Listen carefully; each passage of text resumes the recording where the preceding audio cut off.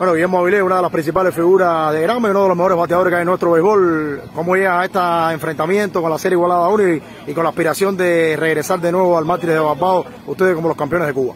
Bueno, sí, ante todo un saludo a la afición beisbolera de, de nuestro país y fuera del...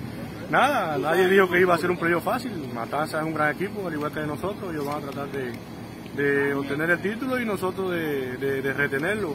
Nada, mañana salir a darlo todo, cada cual haciendo su trabajo en pos de la victoria y darle la alegrón a Drama que es lo que se quiere y tratar de, ganar por lo menos dos juegos aquí para regresar el, el playoff allá al, al Martí de Barbado.